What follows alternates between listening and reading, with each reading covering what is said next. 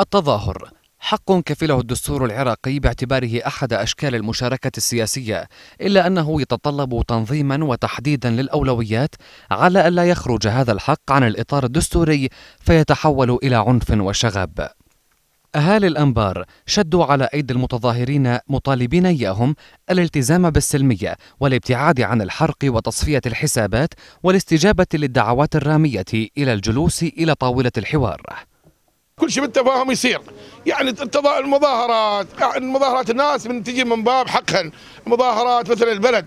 لا بخدمات أساسية لا بماء لا بكهرباء لا بمستشفيات. الشعب حقه مثلا هسه المدارس إحنا نعاني كأولياء أمور الطلبة. نعاني مثلا ارتفاع الأسعار المدارس الأهلية. يقعدون على طاولة مفاوضات يتفاهمون ويا الحكومة. أفضل ما يتظاهرون. وحرق. وأذية للشعب كمواطنين وكأبنية آخرون قالوا إن تدمير مؤسسات الدولة لا يرضي أحدا. لذلك على المتظاهرين الالتزام بالسلمية لتحقيق المطالب. أنصح المتظاهرين أنه يطالبوا بحقه كل شيء بعصبية ما راح يؤدي إلى نتيجة. كل شيء بحرق وهدم وخراب راح ي... حقه يصير ضده. يعني ما راح يطلع إلى أصلا حق.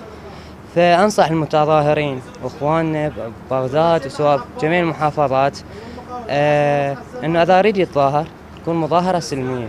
يبين نفسه إنه مظاهرة سلمية آه أمام الحكومة أمام الدولة أمام الشعب. مشروعية التظاهر لا تسوغ القيام بأعمال التخريب. فالإفساد وإتلاف الممتلكات العامة والخاصة سلوك حرمه الشرع.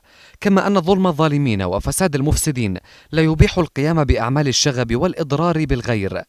بل الواجب أن تخلو من أي نوع من أنواع الإيذاء المادي أو المعنوي.